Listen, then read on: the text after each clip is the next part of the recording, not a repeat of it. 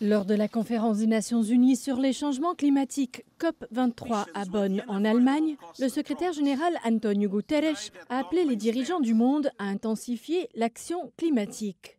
La conférence a également vu le lancement de plusieurs initiatives mondiales, dont celui d'un partenariat visant à améliorer la couverture d'assurance de centaines de millions de personnes touchées par des catastrophes liées au climat.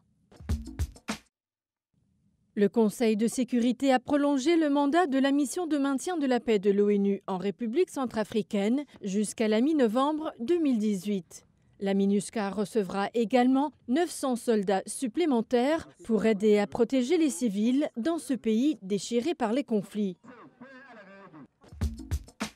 L'ONU a averti que la résistance aux antibiotiques augmente dangereusement et menace la capacité à traiter les maladies infectieuses courantes. Pour renverser cette tendance, les agences des Nations Unies ont appelé à l'utilisation responsable des antibiotiques chez les humains et les animaux, soulignant l'importance de demander toujours conseil à un professionnel de la santé avant de recourir aux antibiotiques.